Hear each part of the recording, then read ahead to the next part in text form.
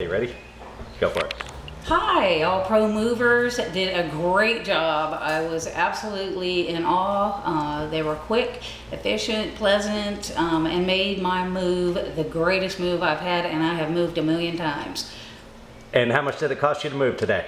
It cost me $150 to move, and as I said, it was quick, it was painless, and it was worth every cent. Awesome. Thanks again. Mm-hmm.